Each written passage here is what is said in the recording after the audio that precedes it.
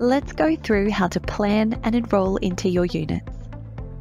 For TAFE Queensland Online students, please ensure you follow the course order of study that was emailed to you and select no more than two units or one cluster per study period unless you have prior approval.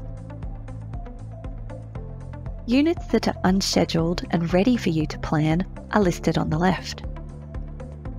To schedule a single unit or cluster into a study period, use the Schedule button. Select the year, then the study period you wish to study your unit or cluster in from the drop-downs. Click OK to confirm your selections. To schedule more than one unit or cluster into a study period, use the Plan a Study Period button at the top of the screen. A wizard will open Select the year and then the study period you wish to study your units or clusters in from the drop-downs. Then select Next to continue to select your units or clusters. Use the tick box to make your selections and then Finish to confirm. Note, you cannot plan or enrol into units where there are no confirmed study periods available. Now that you have scheduled your units into your desired study period and are ready to enrol, simply select the Enrol button at the top of the study period column. There may be some tasks for you to complete prior to finalising your enrolment. If there are tasks for you, they will show on the enrolment summary page.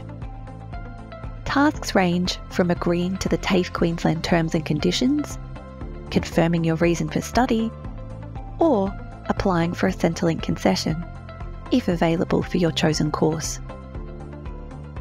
Click the Complete My Tasks button to view and respond to your pre-enrolment tasks. All mandatory tasks must be completed before you can enrol. Click the Finish button when you have responded to all tasks. Note, if you do not have a Centrelink concession, you do not need to respond to this task if it appears for you.